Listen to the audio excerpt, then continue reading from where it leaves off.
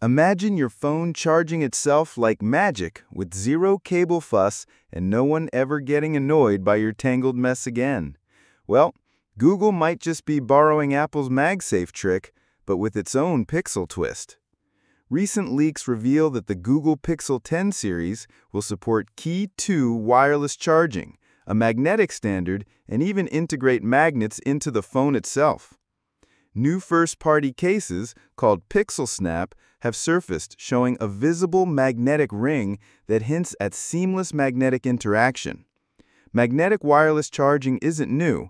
Many Android phones need special MagSafe type cases, but Qi 2, especially with the magnetic power profile, asks phones to have built-in magnets.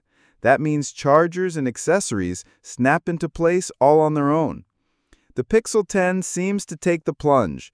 The chassis likely includes magnets, and the Pixelsnap cases just make that connection extra strong and reliable. This is a big deal. It's one of the first Android phones to fully adopt magnetic Qi 2, like Apple's MagSafe, but open standard. No more magic cases required. It works straight out of the box, though cases help for super strong grip. It paves the way for a future of more intuitive accessories, desk stands, magnetic wallets, and even car mounts that just click and stay. With the Made by Google event coming on August 20th, 2025, you'll finally see if this Qi 2 setup is real magic or just a clever tease.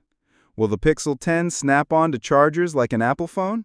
Will accessories come flying? Only time and Google will tell. So, if you're tired of wrestling with cables or your MagSafe car mount, maybe Pixel 10 will be the Android phone that finally clicks, literally. Just don't let your keys walk too close to the back.